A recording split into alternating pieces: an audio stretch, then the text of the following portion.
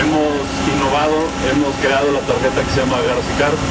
Con esa tarjeta tú vas a poder llegar a taquillas que se encuentran en diferentes puntos de aquí de los, de los mecánicos. Tú puedes cargar el saldo que quieras en esas tarjetas.